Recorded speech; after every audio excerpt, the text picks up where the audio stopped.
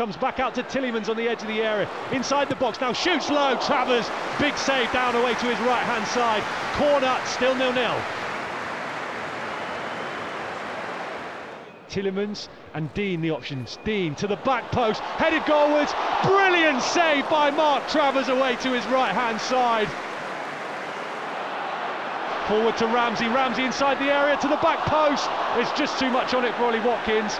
Played on. Play on, says the referee's assistant. Back out to John McGinn who shoots and scores!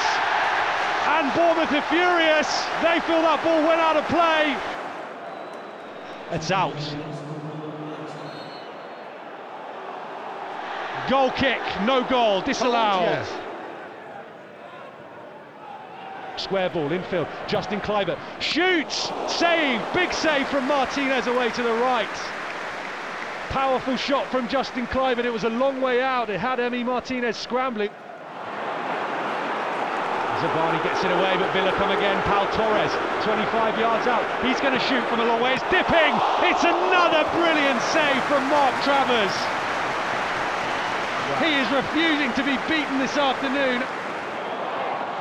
Lovely feet from Watkins. Maatsen to the byline, stands it up to the back post, headed goalwards and flicked past Mark Travers. And there is the opening goal of the game.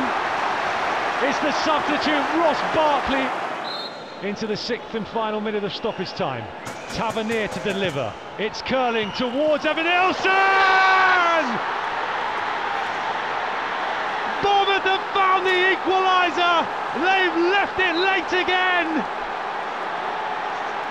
Evanilson left out of the side, off the bench to find the leveller. Villa 1, Bournemouth 1.